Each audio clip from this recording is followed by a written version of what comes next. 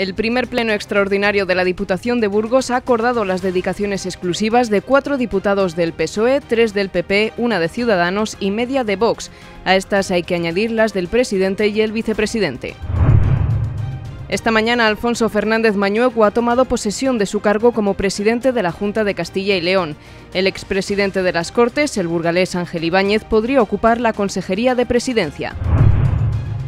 Los abogados de oficio celebran hoy el Día de la Justicia Gratuita, una jornada para presumir de un sistema modélico cuyo índice de satisfacción alcanza el 85% y también de reivindicación a las administraciones. Desde hace años eh, eh, estamos solicitando que se nos trate más dignamente porque es verdad que aunque ha habido una pequeña actualización de los baremos de, abono a los abogados, pues todavía no hemos conseguido o no entendemos que no son los, lo que debería de abonarse.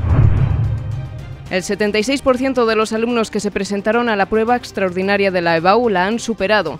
La Universidad de Burgos ha cerrado su plazo de preinscripciones con 995 solicitudes más que el año pasado. El nuevo grado de Ingeniería de la Salud ha registrado 411. El Festival Internacional de Folclore reunirá del 13 al 17 de julio en la Plaza Virgen del Manzano a 16 grupos de seis nacionalidades diferentes.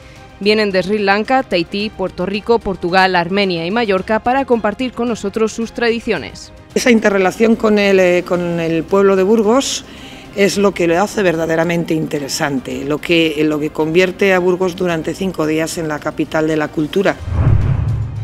La Arandina y Javier Álvarez de los Mozos han llegado a un acuerdo para rescindir el año de contrato que les vinculaba, después de unas duras y tensas negociaciones.